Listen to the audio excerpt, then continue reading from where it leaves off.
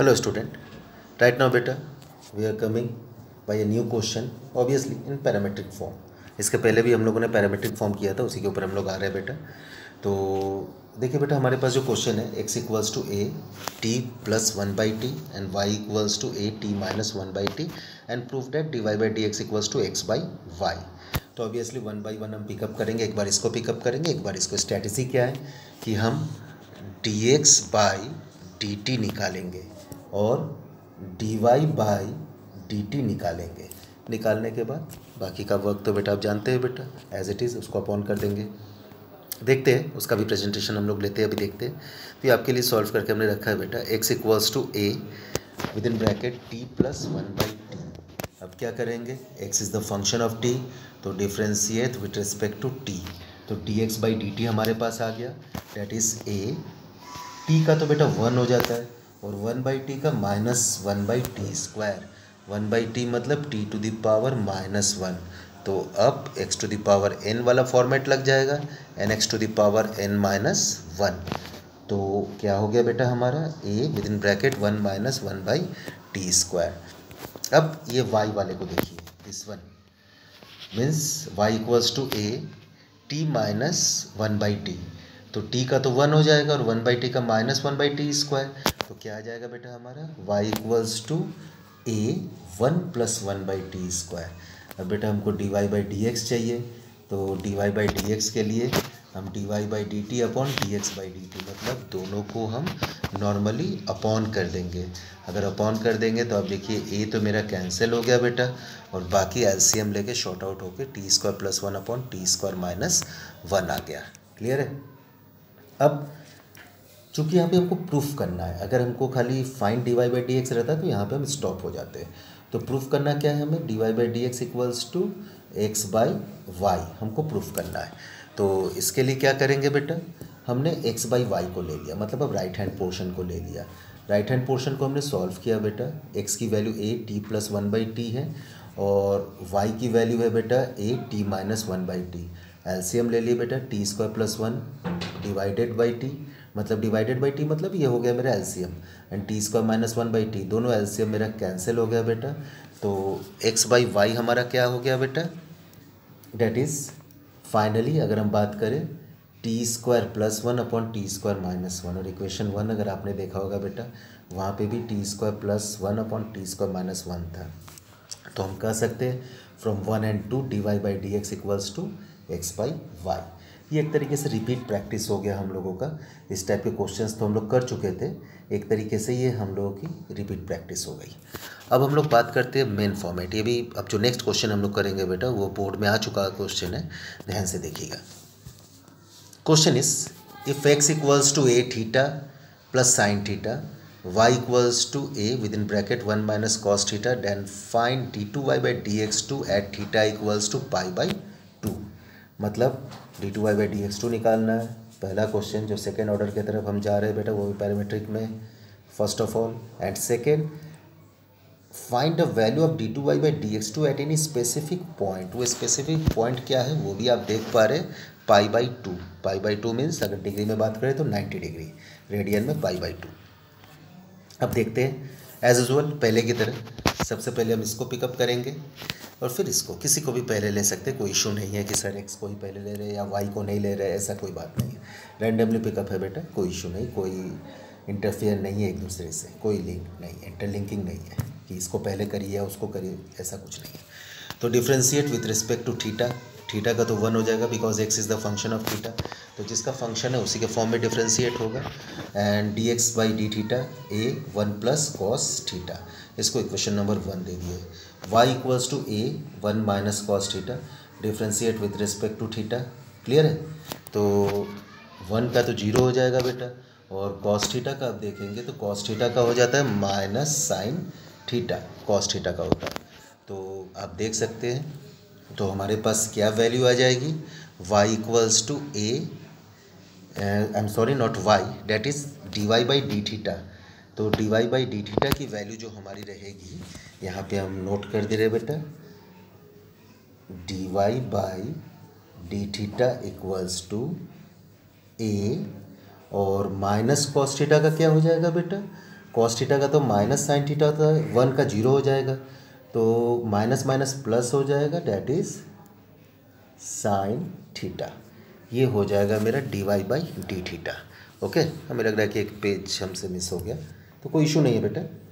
आप देख सकते हैं यहाँ पे D Y by D X निकाला गया है। D Y by D theta upon D X by D theta देखिए ऊपर लिखिए ए साइन थीटा जो भी हमने लिखा था बेटा वर्चुअल स्क्रीन पे that is A sine theta और D X by D theta A one plus cos theta अब ए से ए कैंसिल हो गया। अब मेरा टिग्नोमेट्री वर्क करेगा बेटा। हमने क्लास इलेवेंथ में भी बताया था टिग्नोमेट्री हम नहीं पढ़ाते थे। हमारे जो अल्टरनेट टीचर है, वो पढ़ाते थे आप लोगों को।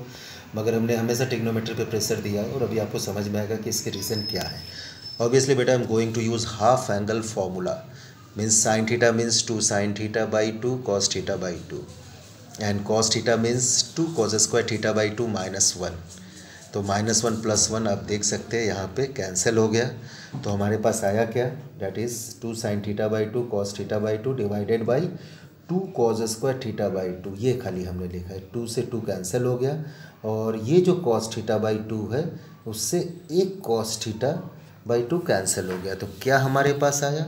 हमारे पास आया sine theta by two by cos theta by two class ten trigonometry बेटा।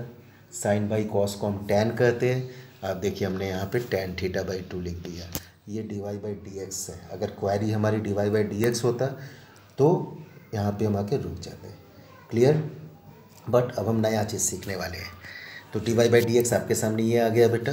अब हमको निकालना है D two Y by D X two okay तो डी एक्स टू तो आप देख सकते हैं बेटा। तो D Y by D X तो आ गया मेरा टेन थीटा बाई टू यहाँ पे आप देख सकते हैं। D Y by D X tan theta by two तो डी एक्स टू अगर चाहिए मतलब एक्स के रिस्पेक्ट में तो आप देखिए यहाँ पे हमने लिखा है differentiate with respect to X तो D two Y by D X two tan का डिफ्रेंसिएशन क्या होता है बेटा? Sec square theta by two और ये थीटा बाई टू मेरे टी की तरफ़ वर्क करेगा तो थीटा बाई टू का वन बाई टू तो कांस्टेंट है, बाहर आ गया। और D theta by D X जैसे टी वाले में हमने आप लोगों को समझाया था D T by D X लिख के इंटी करते हैं इंटू करते हैं तो D theta by D X ये हमारा इंटू होगा। क्लियर आप देख सकते हैं, आपके पास यहाँ पे D theta by D X into है।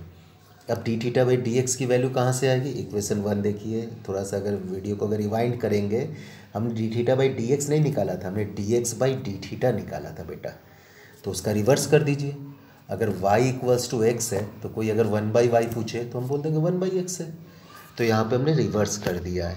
That is D theta by D X की value one by A within bracket one plus cos theta और यहाँ पे देखिए हमने लिखा भी है यूजिंग वन वहाँ पे आप देखिएगा इक्वेशन वन हमने दिया है रिवाइंड करके जब आप देखेंगे आपको दिखाई देगा। अब क्या करना है बेटा? सच पूछिए तो अब तो खाली वैल्यूज़ पुट करनी है। बिकॉज़ ये D two Y by D X two की वैल्यू तो है बट हमको बोल दिया स्पेसिफिक कर दिया इसको।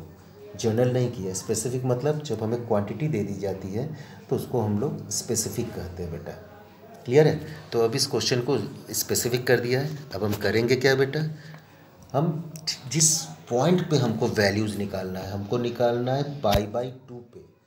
पाई बाई टू ये हम नहीं कर क्वेश्चन कर रहा है। वहाँ पे हम थीटा की जगह पाई बाई टू बट आप देख रहे हैं यहाँ पे पाई बाई फोर आपको देख रहा है। रीज़न है बेटा sec square theta by two है।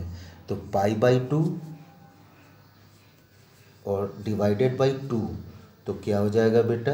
पाई बाई फोर तो इसलिए यहाँ पे आपको पाई बाई फोर दिख रहा है और जहाँ पे ठीटा है, वहाँ पे आपको पाई बाई टू ही दिखेगा बेटा। इस चीज़ को ध्यान में रखिएगा। आप यहाँ पे कंफ्यूज मत हो जाइएगा कि कहीं सही, कहीं पे सर पाई बाई फोर लिखे और कहीं पे पाई बाई टू क्लियर है बेटा? तो चूँकि ठीटा बाई टू था तो पाई बाई टू कन्वर्ट हो गया पाई बाई फोर हो गया। नॉर्मल मैथ्स का रूल बेटा यहाँ पे वर्क किया है।